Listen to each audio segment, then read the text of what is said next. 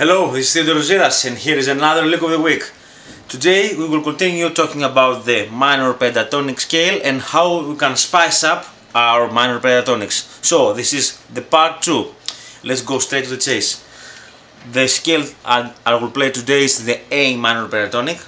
I have an A minor 7 chord and the A minor pentatonic starts on the 5th fret of the low E string.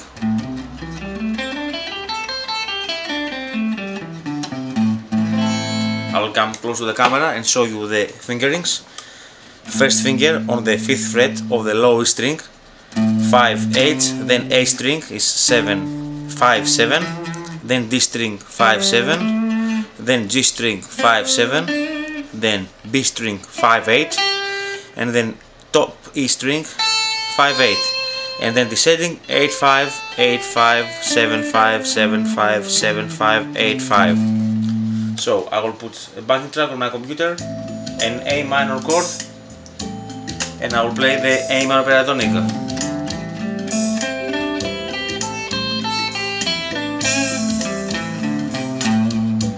So now I will show how we can spice up this thing.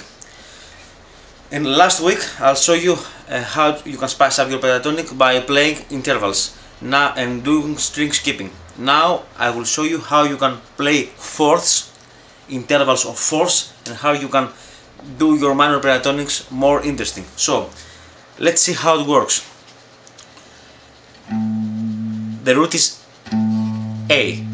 The fourth of A is D because it's A, B, C, D. This is the fourth note. So we have A, D. Then the second note after the A is C. So what I will do, I will play the first finger of the low E string, then I will play the third note of the minor pentatonic scale. So it's A, C, D. Then I will, my second note is C so I will play the third note after that so it's C then we have D and then it's E so on the first two strings the intervals of fourths or thirds it depends on how we can apply it on the minor pentatonic scale is A, D and then C, E. Then I'm moving to the next pair of strings. Is the strings A and D. And I'll play D and G because we are using the first finger on the A minor pentatonic and then we have E and A fourth again the interval. Then we are moving to the next pair of strings. Is D and G. And we have G and C and A and D. Then we are moving to the next pair of string. G and B. And we are playing C and E. And then D and G. And on our last pair of string is 5th fret E A G C. So I'll come close to the camera. And let's see the exact fingers. Is strings A E and A. And I'm playing 5 5 8 7 so next strings. D, A and D.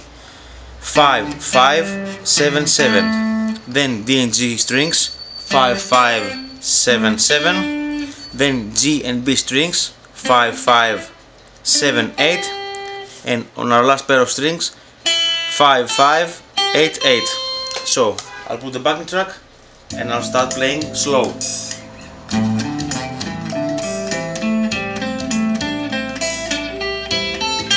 Three, go.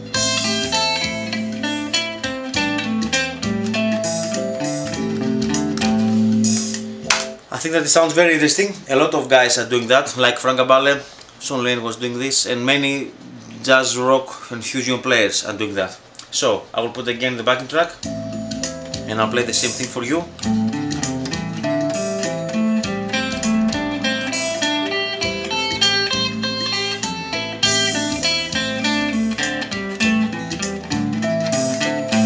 I'll come close to the camera, is 5, 5, 8, 7, 5, 5, 7, 7, 5, 5, 7, 7, 5, 5, 7, 8, 5, 5, 8, 8. Then descending, 3, go, 8, 8, 5, 5, 8, 7, 5, 5, 5, 7, 7, 5, 5, 7, 7, 5, 5, 7, 8, 5, 5. Again.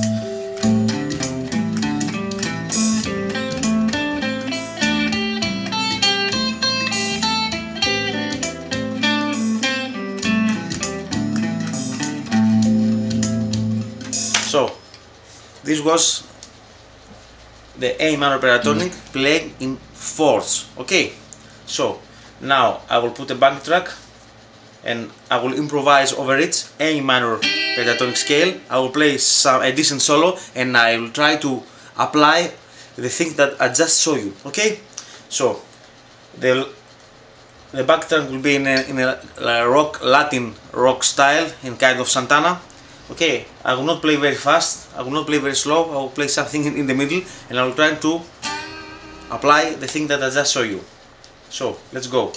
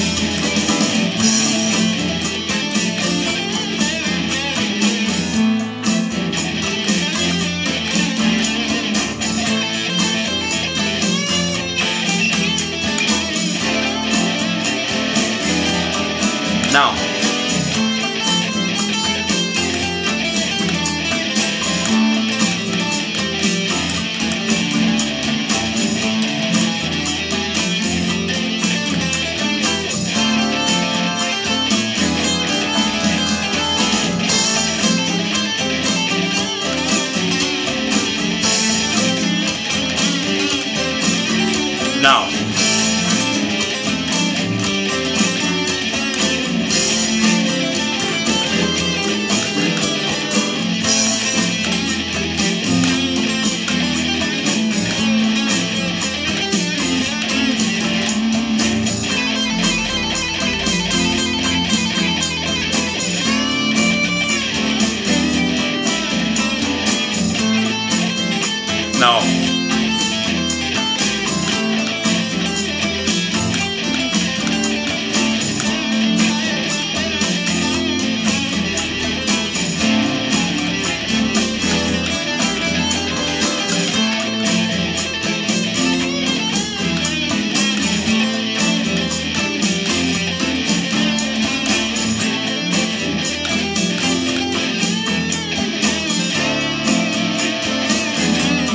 Last time.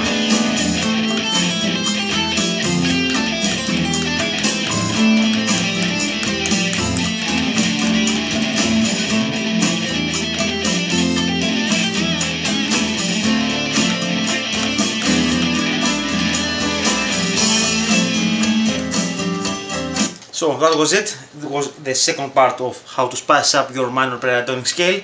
It was Theodore Ziras and it was the lick of the week. Don't forget that all those lessons are free and are just for you. Don't forget to subscribe to my YouTube channel. So until next time and the next lick of the week, bye bye.